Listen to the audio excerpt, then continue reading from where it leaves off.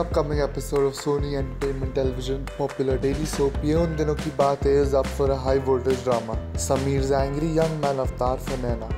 Sameer and Naina's ooty days seems to end as it's time to return back while Sameer is miffed with Naina. Sameer is miffed as Naina had not let him get closer to her and here Sameer turns angry young man yelling at Naina. Naina stops Sameer all romantic advancements, saying that it is not what honeymoon is all about and keeps Naina away.